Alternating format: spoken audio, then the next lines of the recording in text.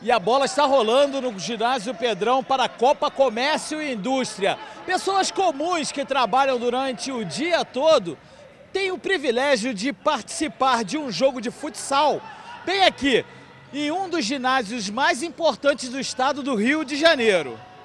A Copa Comércio e Indústria tem agora a organização da Liga Teresopolitana de Desportos e envolve 12 equipes de funcionários jogadores para um futsal noturno. Mas quem pensa que o nível das partidas é daquelas de peladas ruins de aturar, se surpreende com o nível técnico dos atletas de fim de semana. A primeira partida da noite, válida pelas quartas de final, foi muito equilibrada, mas o time da Cadel saiu vencedor do confronto com a Carrapeta.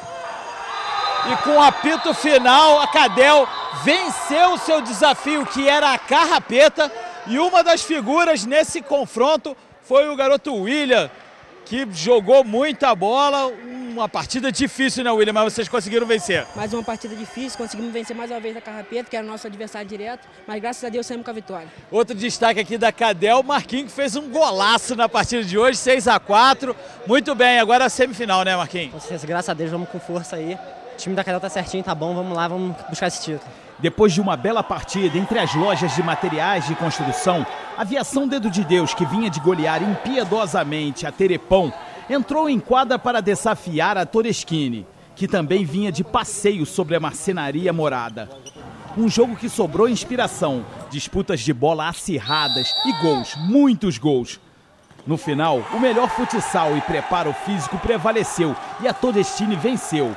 8 a 3 e agora enfrenta a Cadel em partida pelas semifinais da Copa Comércio e Indústria. A partida de fundo aqui pelas quartas de final da Copa Comércio e Indústria, o Júnior da Todeschini fez um golaço com lençol e tudo. Tá vencendo a partida, jogo duro, né, Júnior? Jogo duro, jogo duro. A gente já esperava um jogo duro. É, graças a Deus eu fui feliz ali no lance, consegui puxar, dar um lençol no, no zagueiro dele e meter o gol. É isso aí, vamos, vamos continuar na mesma pegada. Com um time mais inteiro e veloz dentro de quadra, a Todestine não tomou conhecimento no segundo tempo da Dedo de Deus e agora só pensa na Cadel. Com apito final, Todestine vence a partida de goleada 8 a 3 sobre a equipe do, da Viação Dedo de Deus. E um dos destaques foi o Barbosinha aqui, que mandou super bem. Como foi essa partida? Ah, foi uma partida boa, pegamos um adversário difícil, conseguimos fazer nosso jogo e os gols foi sendo naturalmente. E agora a Cadel pela frente, né? Um jogo difícil. É, um adversário difícil, vimos o jogo deles aí, tem jogadores de qualidade, mas estamos aí. Essa é a Copa Comércio e Indústria acontece aqui no Ginásio Pedrão. E você está vendo aí passar nas letrinhas o dia e o horário das partidas. Não perca, incentive o futsal. Esse pessoal não é profissional. Trabalham o dia todo, dão duro para jogar um futebol aqui no ginásio, que é um dos melhores do estado do Rio de Janeiro.